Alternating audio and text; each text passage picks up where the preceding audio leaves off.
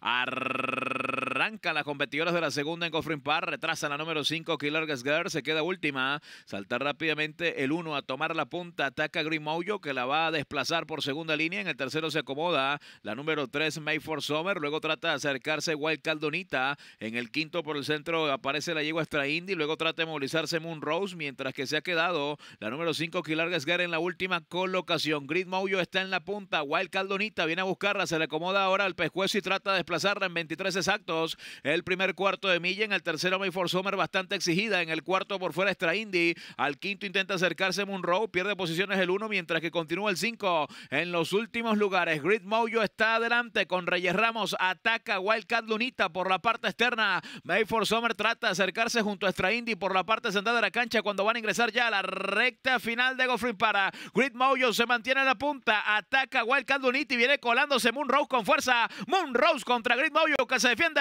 Moonrose corre mucho pegadita a la baranda. Moonrose está desplazando y ataca ahora Extra por el centro. Moonrose inmensa por dentro está pasando y se viene a liquidar. Gana Moonrose número 7. Segundo Extra tercero Green Mojo, cuarto para May for Summer.